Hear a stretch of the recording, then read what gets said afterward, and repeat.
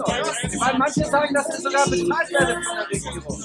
Nein, das von der Regierung, von Stiftungen. Das ist doch ganz anderes. Von Stiftungen. Stiftungen von Parteien. Also das sind Stiftungen von Parteien und die Parteien sind in der Regierung mit drin, zum Beispiel SPD. Leute, das war nicht ernst gemeint. Ne?